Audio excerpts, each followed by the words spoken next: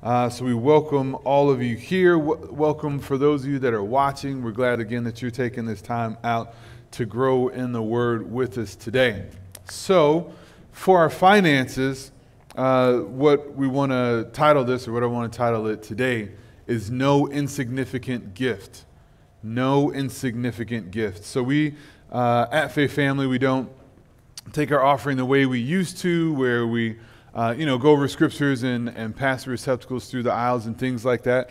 If you want to give, you can use the receptacle that's in the corner by the door. You can do your giving online. Uh, but we still talk about our prosperity and our position with our finances concerning the Lord because there are a lot of things that the Word of God tells us that we're supposed to do. And again, as we, or I have repeated, uh, if we're not in position financially where God needs us to be, then He's not able to use us the same way that he would be able to use us if we had our finances in order, right? So if we were uh, in debt and broke and having to work 80 hours a week and things like that just to pay our bills and uh, to, to pay on our bills, if you know what I mean, then we wouldn't be able to be that financial blessing that God needs us to be when we see someone on the street or there's some project that, that is on our heart that we want to give toward. If we don't have the finances, we can't give. So we want to be able to get ourselves in order so that God can use us however He wants, whenever He wants. So this idea of no insignificant giving came up to me during the week, and it really just stayed in my mind. Um, and and the, the gist of it is that we can all be encouraged that in Christ there is no insignificant giving. There's no insignificant gift in Jesus Christ. And anything that God asks you to do, teaches you to do, tells you to do, it will be significant. So there is no insignificance in the body of Christ. So we're talking particularly about finances and giving, but you can spread that thought all throughout your Christian life. There's nothing insignificant that God is going to teach you to do, that He's going to call you to do, that He's going to want you to do. In our own minds, in our, in our lives, we see significance here and significance there. We see the person that's up here on a microphone as more significant than the person that's out in the parking lot leading cars where to park. And we don't even have anybody leading the cars where to park. But if we did, some of us in our minds would say, well, that person is not as significant as the person that's, that's up on the microphone. But that's not true. In the body of Christ, every position is an important position, and God uses all of us to get done His work. And if any of us are not in the place or position that we're supposed to be in, then that would be a hindrance to the overall mission. And so everything in Christ is significant. Uh, so we can, I want to just reference a few scriptures because I have a whole bunch of scriptures for you later. So I want to reference a few scriptures now in looking at what some might consider insignificant giving, but we're changing our minds to know and realize that it is significant giving. So we just got through doing Christmas and stuff like that. So in Matthew chapter 2, particularly verse 11, but in Matthew chapter 2, we see the wise men come out of the east. And we know the wise men are the ones who brought unto Jesus the gifts gold, frankincense, and myrrh. Now, those are kind of significant gifts because gold is gold, and gold is gold now, and gold was gold then. And gold is gold, gold has been gold like all the way throughout. So, gold is significant. But think about the wise men.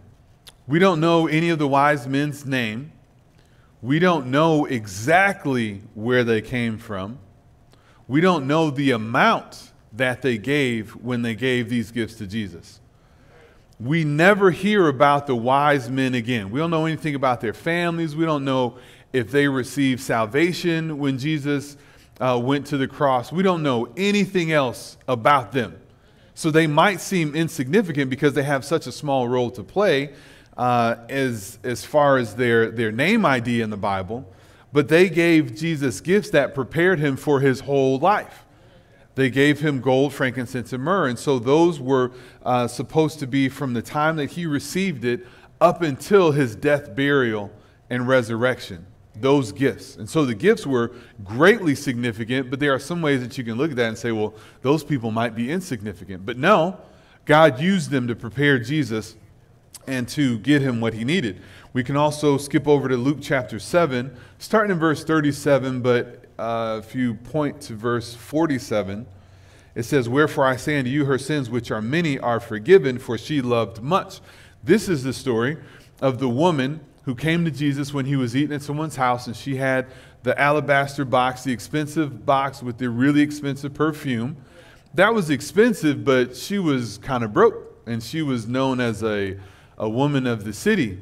And she came and she broke this box, and all, essentially all she did was wash the feet of Jesus.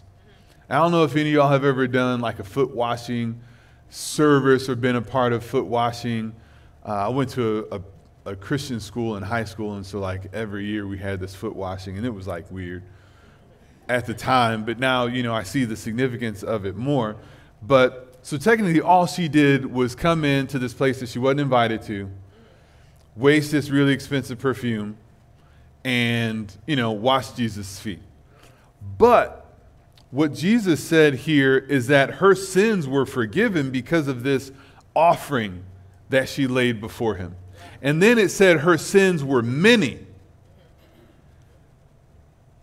And it said that she loved much. So it could seem insignificant that she came into this dinner that she wasn't invited to, and then she did this weird, awkward thing in the middle in front of everybody where she washed the feet of Jesus and she was wiping it with her hair. But that meant so much to her. And it, and it came from a place inside her that was so significant that Jesus saw and recognized it and when other people were sitting there like, well, what is she doing? And, and, and you know, why is she wasting that? They, he said, no, this is a very important, significant thing. It's so significant that her sins are forgiven. And then Jesus went on to use this story to illustrate um, how people typically are thankful to God when they feel like they've been forgiven much, but they're not very thankful to God when they feel like they haven't been forgiven much. And so that was a very important story, and you should look at it later, but we don't have time. So we'll go over also to Matthew chapter 14. Another insignificant gift was a particular time where Jesus was talking and teaching people all day, and they got hungry, and he didn't want to send them away. And so this is when he fed thousands of people. It's a big deal to feed thousands of people. It's a big deal. Going back to like wedding planning and just other events, it's a big deal to feed people. Yeah. I mean, we have seven people in our family, and like that's a big deal three times a day. So, anyway, he's going to feed thousands of people. Well, where did the thousands of people of worth of food come from? It came from a little boy's lunch. They went through the crowd and, and they were supposed to find some stuff, and they were like, Well, all we have is this little dude over here. He has five five loaves and two fish. And then they said, Well, but what is that among so many? And so it seems like that could be insignificant because it was a boy's lunch.